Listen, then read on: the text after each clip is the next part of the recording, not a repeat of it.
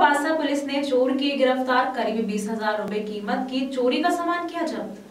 उज्जैन के मक्सी रोड पर पवासा थाना क्षेत्र में दो चोर युवक अरविंद और राहुल झोले के अंदर रखकर कीमती सामान बेचने की कोशिश कर रहे थे और कायथा पुलिस को सूचना मिली, दोनों चोर युवक की तलाशी ली गई तो झोले को देखा तो इलेक्ट्रॉनिक दोना पत्तल बनाने की डाई और पार्ट्स निकले, जो उक्त चोरों ने चोरी किए हुए थे, जिनकी कीमत करीब बीस हज़ार रुपये थी। दोनों चोर युवक नशे के आदि हैं, अब पुलिस इन बदमाशों से पूछताछ कर रही है। पहले कौन कौन सी चोरी की वारदातों को वे अंजाम दे चुके हैं?